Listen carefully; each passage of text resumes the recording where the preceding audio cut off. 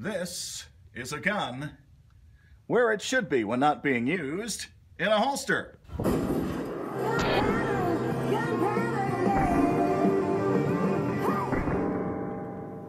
Ah, getting it out of the holster is the big question. Because have you seen that video going around on YouTube of an actual police officer at a range going to draw and bang!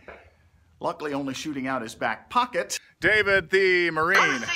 Let me see your war face. Have you seen that video? Yeah, they call him Officer Half-Ass now. Actually, they do. the best way, the only way to actually draw and shoot. there is a way to do it, and there's a way to do it safely, and it would behoove you to learn how to do it automatically so you do not have to think about it every time you draw. Talk about the features of a holster.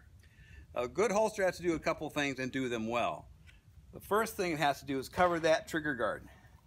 If you put your finger in the trigger guard here, you're going to shoot something you don't want to shoot. The next thing it has to do is to allow a full firing grip right here. The gun has not moved at all, but I got a full final firing grip. There's no adjustment needed once I get the gun out. Now, when you make the draw, you make the draw stroke, you come up, your finger should be at least that high. Higher might be better. We don't want to be in front of the trigger like that or over the trigger. We want to be consciously muzzle, uh, finger towards the, uh, the muzzle, uh, towards the barrel, away from the trigger. There's nothing you can shoot from here. Uh, no way to shoot the gun unless your finger goes on the trigger. So if we do a draw like this, I, I don't care how fast you are from here to here, there is a time frame. And however fast you are, during this time frame, you can get your finger to the trigger as you go out. Bang, bang, bang.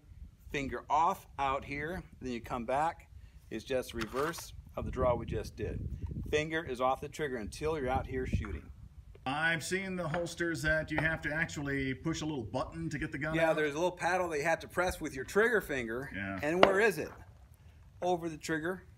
And so what happens is you, you you're pushing in towards your body and you're pushing in and as you clear, your Bang. finger goes in. There is a video of a guy who's using one of these holsters to go, Bow! I just shot myself. Because that's exactly what he did. We want I would avoid those holsters and again keep your finger up here during the draw. And you won't shoot yourself.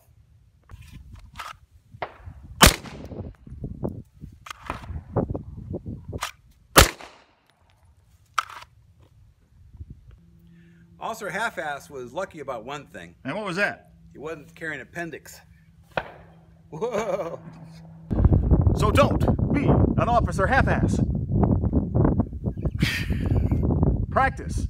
Make it second nature. You shouldn't have to think about it at all. And that means practicing at home, dry fire, and that's what you do. Because you can't afford to shoot yourself in the ass. And as you can hear out here at the range, it's Guns guns for everybody. everybody.